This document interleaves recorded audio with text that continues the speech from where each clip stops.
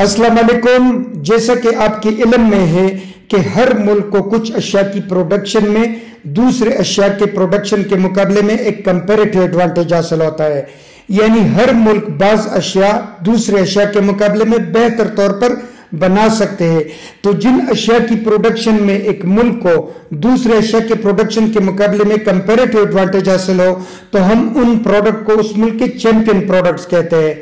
For example Japan को comparative advantage हासिल है in the production of automobile जबकि पाकिस्तान को कंपेरेटिव एडवांटेज हासिल है in the production of leather product sports goods and surgical goods अब अगर जापान फोकस करता है on the production of automobile और पाकिस्तान फोकस करता है on the production of sports goods surgical goods and leather product और फिर इंटरनेशनल ट्रेड के तहत दोनों ममालिक ये चीज़ें आपस में एक्सचेंज करते हैं तो इससे दोनों ममालिक बेनिफिट होंगे।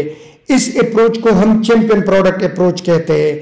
चैंपियन प्रोडक्ट अप्रोच से मत मुराद ये है कि आप अपनी इकोनॉमी के चैंपियन प्रोडक्ट्स को आइडेंटिफाई करें, फिर उनको डेवलप करें, फिर उसके लिए मार्केटिंग करें, ताकि उसके लिए मार्केट एक्सपेंड हो within the border and beyond the border जब बियॉन्ड द बॉर्डर आपके प्रोडक्ट्स के लिए मार्केट एक्सपेंड हो जाता है, बढ़ जाता है तो इसका मतलब ये कि आपके एक्सपोर्ट भी बढ़ जाते हैं। और जब आपके एक्सपोर्ट बढ़ जाते हैं तो आप अपने एडवर्स बैलेंस ऑफ़ पेमेंट की इश्यूज़ को रेक्टिफाई कर सकते हैं। यही चैंपियन प्रोडक्ट अप्रोच आज से कई साल पहले इथोपिया में भी अडॉप्ट किया गया। इथोपियन शीप लेदर को आइडेंटिफाई किया गया as a champion product of the Ethiopian economy और फिर उसको डेवलप किया गया और फिर उसकी मार्केटिंग की गई, जिसकी वजह से इथोपियन शीप लेदर के लिए मार्केट एक्सपेंड हो गया both within Ethiopia and outside Ethiopia तो इसी तरह इथोपिया के एक्सपोर्ट बढ़ गए और आज हम देख रहे हैं कि पिछले पंद्रह सालों से इथोपिया का जो ग्रोथ रेट है वो टेन परसेंट है which is a very big achievement तो हमारी आज की जो लेक्चर है वो इथोपियन शीप लेदर के बारे में एक केस स्टडी है। तो आगे बढ़ते सबसे पहले मैं आपको इथोपिया के बारे में कुछ बुनियादी इंफॉर्मेशन देता हूँ। इथोपिया एक अफ्रीकन कंट्री है। इसका कुल रकबा चार लाख बहत्तर हज़ार स्क्वायर किलोमीटर है। जबकि हम जानते हैं कि पाकिस्तान का रकबा सात लाख छियानवे हज़ार छियानवे स्क्वायर किलोमीटर है। यानी Pakistan is a bigger country than Ethiopia. Ethiopia की कुल पॉपुलेशन 120 मिलियन है। जबकि पाकिस्तान की कुल पॉपुलेशन 230 मिलियन है। यानी पाकिस्तान की जो इंटरनल मार्केट है, वो भी इथोपिया से दो गुना बड़ी है। ठीक है? इसके अलावा इथोपिया की जो इकोनॉमी का साइज़ है, वो है 156 बिलियन डॉलर जबकि पाकिस्तान की इकोनॉमी का साइज़ इससे बहुत बड़ा है। लेकिन इसके बावजूद पिछले 15 सालों से इथोपिया का जो ग्रोथ रेट है, वो 10 परसेंट है।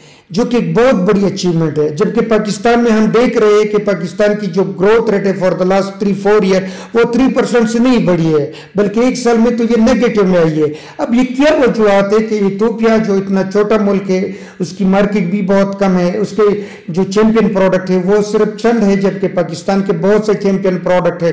लेकिन इसके बावजूद इथोपिया डेवलप कर रहा है और पाकिस्तान डेवलप नहीं कर रहा है तो यही हमारा बेसिकली आज के लिए टॉपिक है। इसको मैं समझाने की कोशिश करूँगा।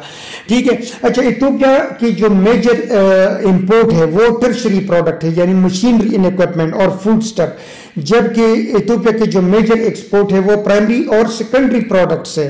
जैसे लाइव स्टॉक बाकी जो एग्रीकल्चर प्रोडक्ट है टी और कॉफ़ी तो यहाँ पे भी इथोपिया लॉज में है, क्योंकि इथोपिया ज़्यादातर टर्शरी जो प्रोडक्ट है, वो इंपोर्ट कर रहा है, यानी इथोपिया ज़्यादा पेमेंट कर रहा है।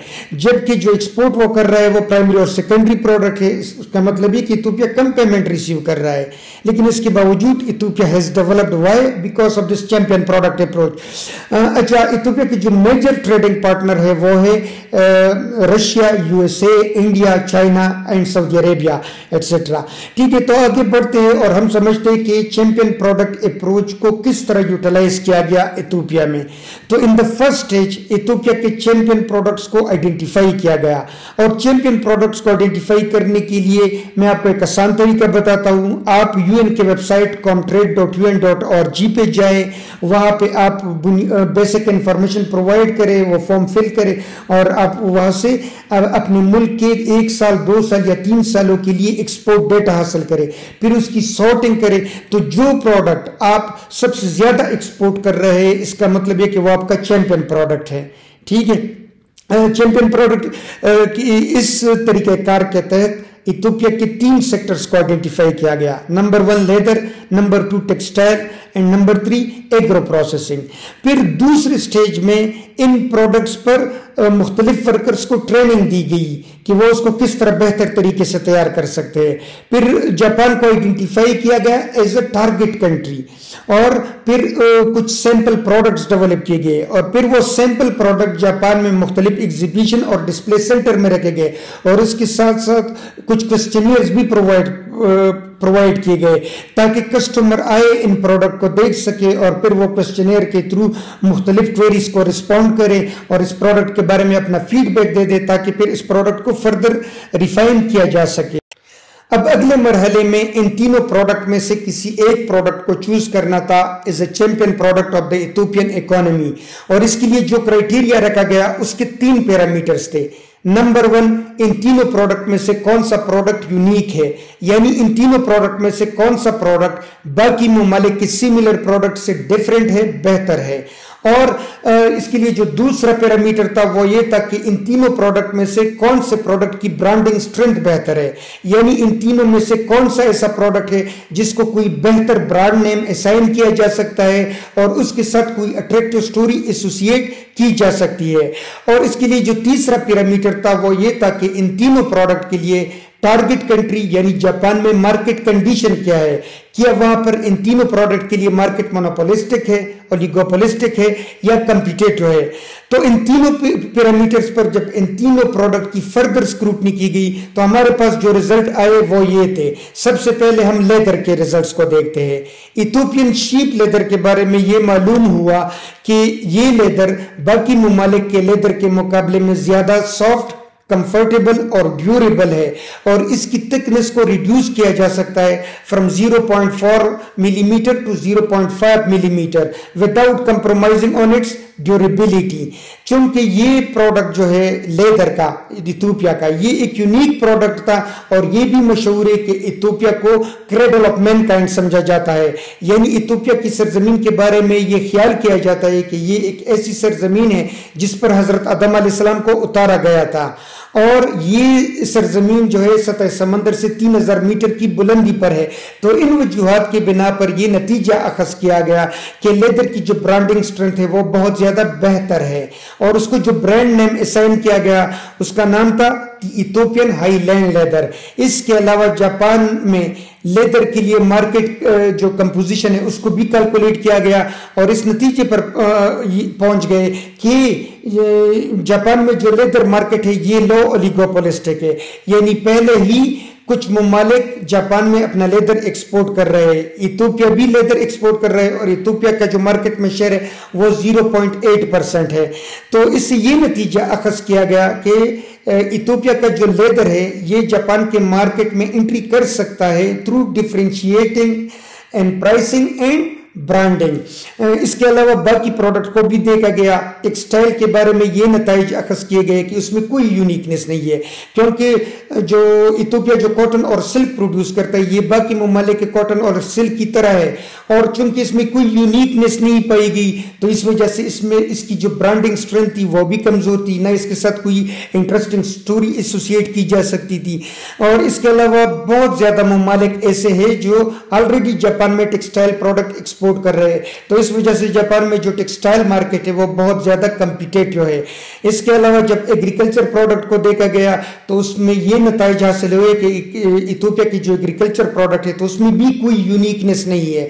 क्योंकि जापान जो फ़ूड ग्रेन प्रोड्यूस करता है सॉरी इथोपिया जो फ़ूड ग्रेन प्रोड्यूस करता है, वो बाकी ममालिक की फ़ूड ग्रेन की तरह है और उसका टेस्ट भी तकरीबन उसी तरह है। तो चूँकि एग्रीकल्चर प्रोडक्ट में भी कोई यूनिकनेस नहीं थी तो इस वजह से इसकी भी ब्रांडिंग स्ट्रेंथ जो थी, वो वीक थी और न इसके साथ कोई इंटरेस्टिंग स्टोरी एसोसिएट की जा सकती थी। और इसके अलावा बहुत से ममालिक जापान में पहले ही से फ़ूड ग्रेन एक्सपोर्ट कर रहे हैं। तो इस वजह से फ़ूड ग्रेन का जो मार्केट है, वो भी बहुत ज़्यादा कंपिटेटिव है। तो इसके इसके बाद फिर इन नतज की बुनियाद पर जो ग्रेडिंग की गई तो लेदर के यूनिकनेस को जो दिया गया था असाइन किया गया, वो ए ग्रेड था। टेक्सटाइल को बी ग्रेड असाइन किया गया और एग्रीकल्चर को भी बी ग्रेड असाइन किया गया। ब्रांड रिंग स्ट्रेंथ में लेदर को ए ग्रेड असाइन किया गया टेक्सटाइल को भी ए ग्रेड असाइन किया गया और एग्रीकल्चर को बी ग्रेड असाइन किया गया। जबकि कंपिटेटिवनेस की बुनियाद पर लेदर को ए ग्रेड असाइन किया गया और टेक्सटाइल और एग्रीकल्चर को बी बी ग्रेड असाइन किए गए।